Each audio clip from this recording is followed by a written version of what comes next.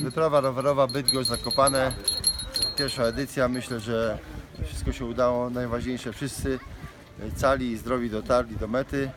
Wczoraj warunki nie pozwalały nam, żebyśmy byli na Gubałówce, ale dzisiaj super. Jest piękna pogoda, wszyscy zaliczyli. Dojechaliśmy. Hej! Hej! Każdy otrzymał taką pamiątkę.